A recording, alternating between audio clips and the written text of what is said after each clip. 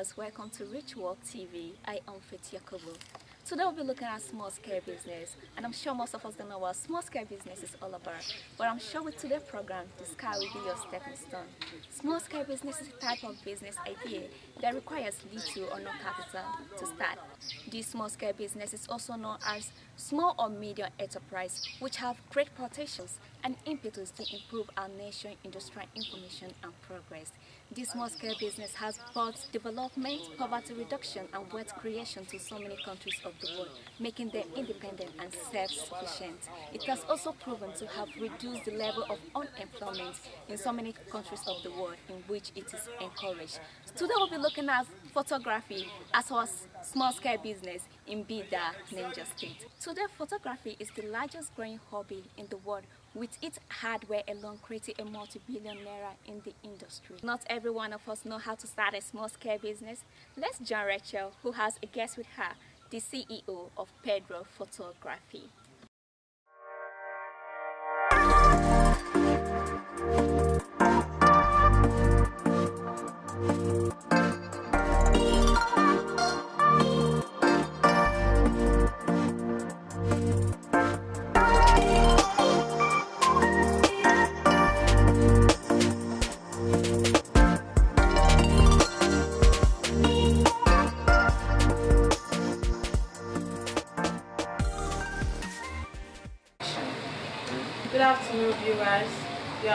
Rich World TV, live on Federal Polytechnic Bida. We are meeting with an entrepreneur that is into a small scale business, photography to be precise. Sir, please can you introduce yourself? My name is Adewale Pedro Ayo. Okay, I'm the CEO of uh, Pedro Digital Studio. Okay, sir. Thank you very much, sir. So I want to ask you a few questions. Sir, what prompted you to go into this business, photography? We want to know. What made you go into this business? Yeah, thank you for the question. Yeah. What made me uh, venture into this business is, in the first place, I have a, a passion for it. I know what it's capable of doing for me, and I know the kind of income I'm going to derive from it. The first thing in life, uh, anything you want to do or what you have in mind to do is to have the passion for that business, because there will be a challenges. If you just go into the business and you don't uh, you don't understand the principle of the business, when the challenges come, you will not be able to overcome it. So you don't just wake up and just because people are doing it and you too want to go into it, you first have the passion for that thing. Whether there is capital or not, you will know how to drive the business. Okay, sir. Sir, please, can you, tell, can you tell us how did you start? Like, how did you start? How did you start? Starting business, I will not, I I I won't lie to you. Yeah. Starting business in Nigeria, everybody know that it it is not easy. You just have the determination. Then you know the cost of starting the business. Then you work towards it. That, that was how I started. I started with a little equipment that I will be able to afford to buy within the specific time. Okay. Then you start saving for it. It's not it's not a must that you buy everything one day. It's not a must that you started from the grassroots and reach the top Yeah. you started it with little capital that you have. In the first place, I told you about having passion. Once you have passion for it, whether there is capital, whether there is enough capital or little capital, once you have a basic or the foundation of the equipment that you need in doing what you have the passion for, the idea, the idea will be derived from the passion you have the work, then you get everything going.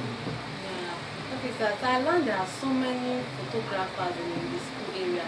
Like, how do you cope with the many competitors around? Yes, every business must be competitive. Yeah. If you are running away from the competition, then you don't want to start any business. We have a lot of photographers, like likewise other businesses. What you need to do, everything, everything, everything is mounted on that passion. I told you about the challenges. Yeah. Your competitor is one of the challenges that you are going to have. If you don't have that passion for it, when all these things comes, you, you run away. But I want us to understand that there is no any business, even if you are selling stone in Nigeria and you have you have competitor, Yeah. what belongs to you must surely comes to you. Once you if you are the only one running the business, the income tends to come in a very large way. But once there is competitor, the income reduces drastically. And uh, when you discover that this income has reduced, what you need to do is just to adjust it yourself, just to keep your business going. It's not that your the, the competition you are having do not affect your own business. But what you need to just do is that you reduce the responsibility being placed on that uh, business when there when there was no competition. Now, when you reduce it, you use your business as the main point of view. You remain focused on that your business, and little idea is needed here. What your competitor cannot do, you you bring any new idea. Yeah. Before the team, before the team, uh, before the team cast, you must have uh, get what you want to get from it. Then you Yeah. think about any other idea, just to get get, get your business. Okay. One. What are the things to put in place for this particular business, photography to flourish? Yes, there are a lot of things. There are lots that you cannot even finish buying. There are a lot of like the. But let me just start it from uh, the the very important equipment that you need to get. Even to a layman that doesn't know anything about photography, you know that you are going to get the camera, Yeah. you get the studio flash. Even if you are working outside, outdoor picture, you must have the uh, studio flash that designed for that uh, location that you are going. You have a lot of things. You have you need to buy the laptop. You need to get the memory cards. You need to get these are the basic equipment that you need to start the photography work. But when as time goes on, as you are breaking, as you are breaking through some barriers in the business, you get to know other equipment that you need to buy. But these are the basic. You get to you, you have to buy your camera. You have to buy your studio flash. You have to buy your printer, your passport. You have to buy your laptop. I think and generator because you don't have generator, even if you're a barbing salon, if you Yeah. don't have generator in Nigeria, you, you're never serious about your business. What would, what would be your advice for those that would love to go into this particular business, photography? There are a lot of, not especially like these are my young ones, there are a lot of advice. There's no new advice, it has been keep on coming. Our, the people we met in the business keep on advising. Even it's not only photography, all the all the all the, all the works we have in Nigeria. I want to tell them that there are a lot of challenges in any any things that they choose, any field that they choose that they want to venture into. But they should just remain focused. They should not be spending money on on unnecessary things. There's an adage that said that uh, when you buy what you don't need, when the time comes, when you need some certain things, you sell in a very cheap rate to get what you need. So there's just any money that comes into their hands today is not free. They have to save it for future, for whatever they want to venture into. When we are young, we used to. We, there are some of money that comes that we don't value. We use it on trending material like clothes, like shoe, all those things. By the time we need this money, it will stop coming. If we have been wise since then, we will have have the idea of saving the money for the future reference. But never standing there say that uh, when it comes to the time of toilets, Yeah. I don't want to complete it because it's somehow disgusting. Right, uh, Mr. Pedro, please, what do you understand by small scale business? Can you just share your idea of small scale business?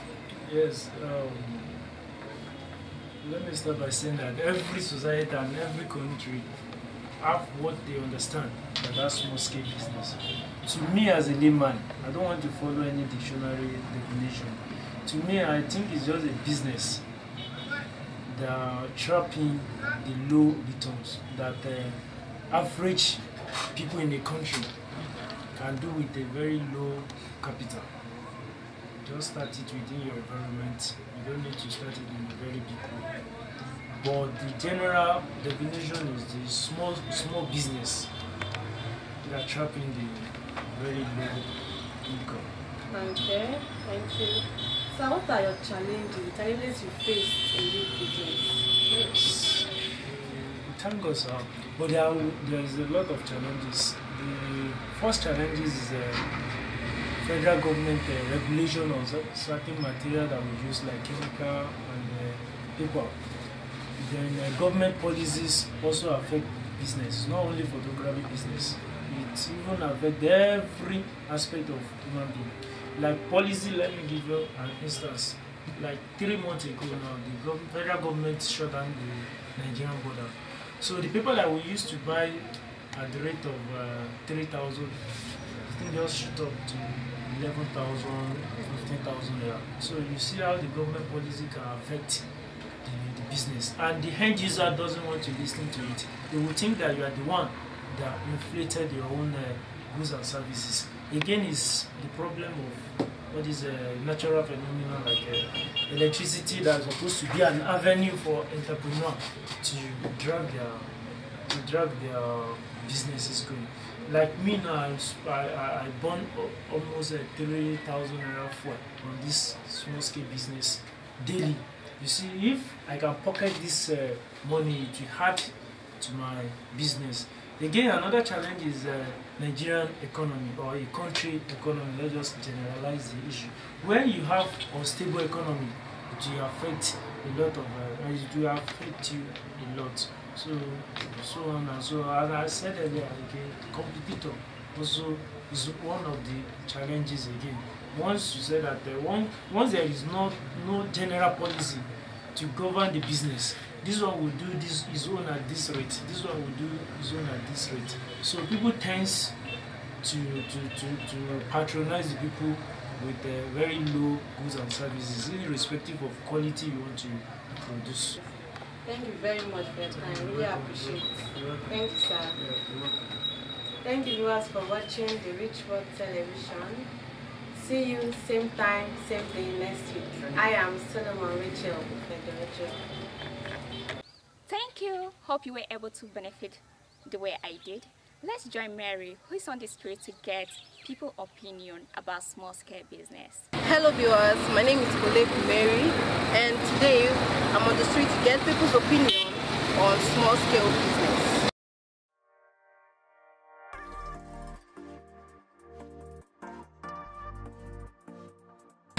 Small scale business is um, business that one just won't just sit down but just set up no matter how just to get one or two things out of at the end of the day, you won't just go home um, and without having anything. Like me, I have my own handwork, which is shoemaking.